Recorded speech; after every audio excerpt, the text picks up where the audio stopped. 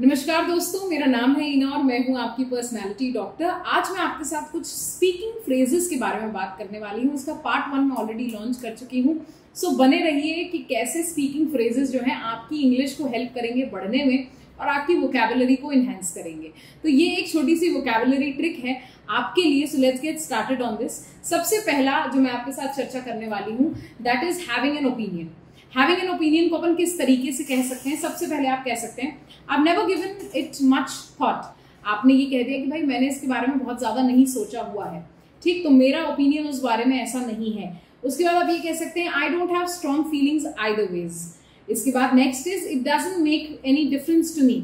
I have an opinion इसको आप किस तरीके से और बोल सकते हैं it doesn't make any difference to me if you accept this और accept that okay next is I have no opinion on that matter I think I, I don't have any opinion on that particular matter.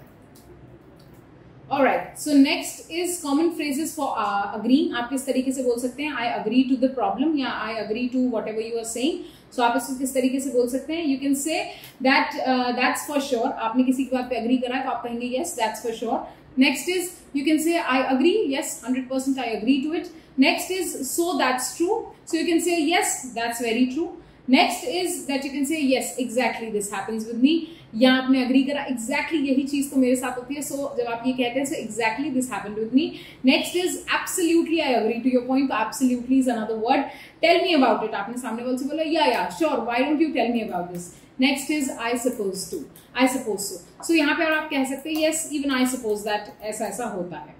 So next is common phrases to invite someone somewhere अगर आप किसी को invite करना चाहते हैं सो so आप किस तरीके से पूछ सकते हैं? और अगर आपकी गर्लफ्रेंड है और अगर आप इनवाइट करना चाहते हैं तो आप किस तरीके से इनवाइट करेंगे? क्योंकि थोड़ा सा कुछ जो है, मुझे लगता है कुछ चीज़ें लड़कों को एक इनिशिएटिव लेनी चाहिए। तो उसमें से एक यही है और किस तरीके से पूछेंगे, यही बात करने के लिए आ गई हूँ मैं। अगर आप नए हैं मेरे चैनल पे तो मेक श्योर sure करें कि आप लाइक शेयर और सब्सक्राइब ज़रूर करें। So next is I you free तो आपने बोल दिया, आपने सामने वाले से यहाँ पूछा है, आपने इन्वाइट करने के लिए पूछा I you free Saturday night Sunday night या day obviously Saturday evening Saturday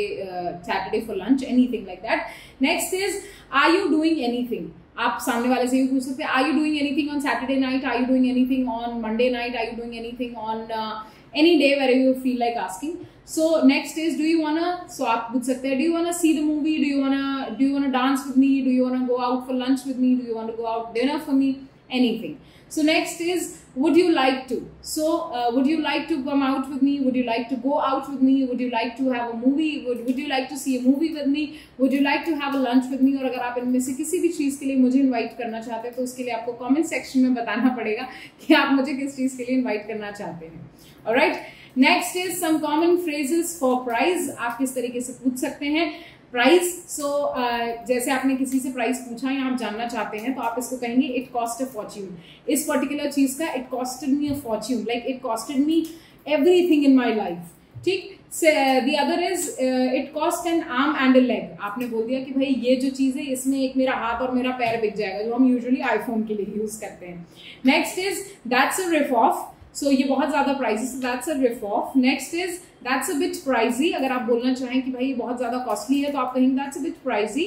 और अगर ऐसा लगता है कि ये आपको थोड़े चीप प्राइस में मिल रहा है, सस्ता है तो आप कह सकते हैं दैट्स क्वाइट रीजनेबल उसके बाद अगर आपको कोई डील अच्छी लगी हो पैसों के मामले में तो आप कह सकते हैं that's a good deal next is अगर कोई चीज़ बहुत ही कौड़ियों के भाव हो तो आप उसे कहेंगे इट इज़ डर्टी चीप और अगर आपको इन फ्रेजेस के अलावा कोई फ्रेजेस पढ़े तो do write me here in the comment section so that आपकी नॉलेज से आप तो बढ़ेंगे ही, और आपके जो आजू बाजू के लोग हैं, वो भी बढ़ते रहेंगे. और भाई, अगर आप इतना बढ़ रहे हैं तो थोड़ी सी बढ़ोतरी मेरे लिए भी so do do make sure that you like share and subscribe my channel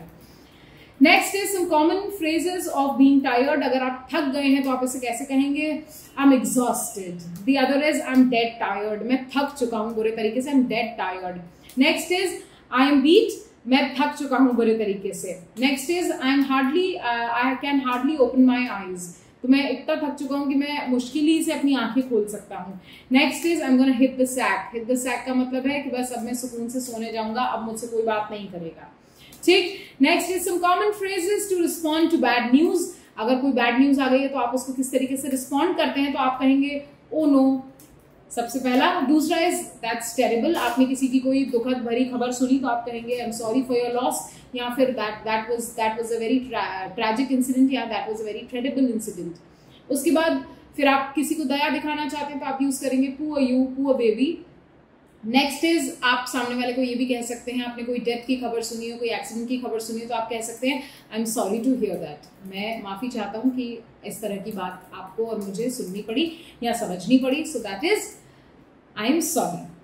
next is some common phrases for food so सबसे पहला इज़ जब आप बहुत भूख लगी हो आपको तो आप कहेंगे आई एम स्टारविंग ठीक है इसका मतलब है I am hungry at the same time पर आप यहाँ कह रहे हैं आई एम स्टारविंग क्योंकि मुझे बहुत भूख लगी है नेक्स्ट इज़ आपने किसी से पूछा सो so आपने कहा let's grab a bite meet आपने सामने वाले से कहा लेट्स ग्रैब अ बाइट और चलते हैं कुछ खाने के लिए उसके बाद हो जाता है how about eating out to भाई चलते हैं बाहर कुछ खाने के लिए so that is how about eating to कहीं बाहर चल के खाने के लिए eat out that means eat at a restaurant eat out का मतलब ही होता है eat at a restaurant next is I have आपने यहाँ पे किसी को बोला कि भाई आप रेस्टोरेंट में आ गए हैं और आपने किसी को बोला I have a dosa I have an idli I have a Manchurian I have a kothey और noodles anything that you like and what do you like do write me here in the comment section क्या पता मैं आपके घर ही भिजवा दूँ?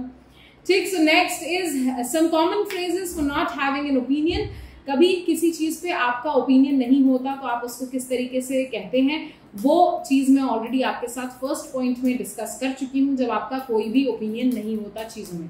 प्रकाश, ये वाली स्लाइड को काट देना। Next is common phrases to say I don't no आप कैसे किसी को कहेंगे कि कॉमन फ्रेजेस हैं जो आपको नहीं पता है सो so आप किस तरीके से बोलेंगे आई हैव नो आइडिया आपने बोला कि भाई सामने वाले ने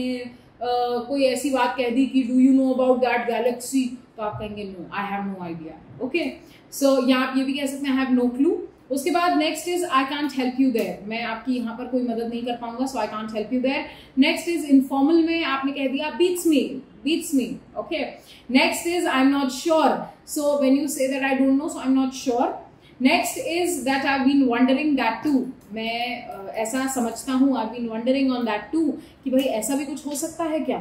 ठीक है? सो ये हो जाते हैं कुछ कॉमन फ्रेजेस जो मैंने आपके साथ डिस्कस किए हुए हैं। So make sure that you do like share and subscribe my video for better viewing and for everything that I come across and that I want you to prepare for तो thank you so much guys मेरे साथ बने रहने के लिए। मैं हूँ आपकी पर्सनैलिटी डॉक्टर